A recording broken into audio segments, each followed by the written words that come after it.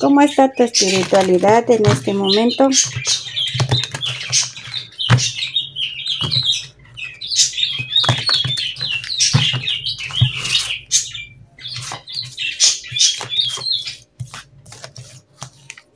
Bueno, te dicen nuestros ángeles, te llega más luz, más iluminación, más empatía, más abrazándote, te llega como más potencia de la iluminación, donde vas a abrazarte, vas a estar súper contenta, súper feliz.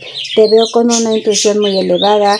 Ahí están los cisnes, los que son de las almas llamas gemelas. Vas a estar mirándolos, vas a estar viendo rosas por donde quiera, pero va a ser como rosas o que tengas que comprar una rosa o que germine alguna plantita bonita en tu jardín. Su espiritualidad están juntos, están en la paz, están en la tranquilidad que así sea decretado y manifestado.